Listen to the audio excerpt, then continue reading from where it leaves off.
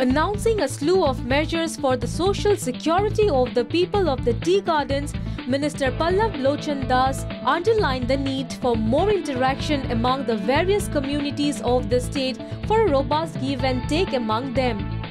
Dwelling on the schemes, Minister Das said that the all-round development of the community would be possible only by making the up-and-coming generation aware of the rich legacy and colorful culture of the tea tribes.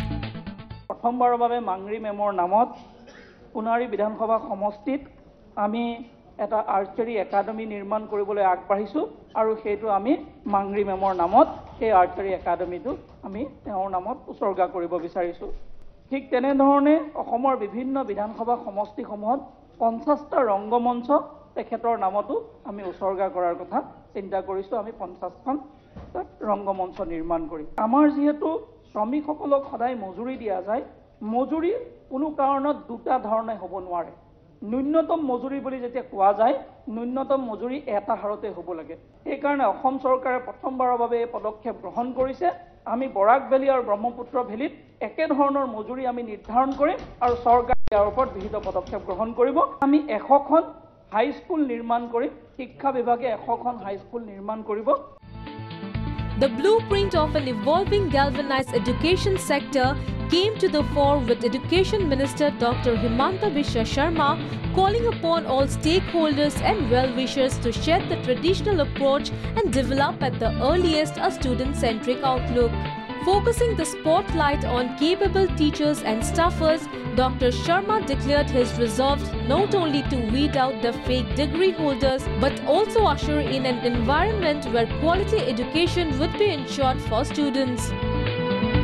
Dr. Himanta Biswa Sharma also announced that his resolution to root out corruption, favoritism, and politicization from the sector.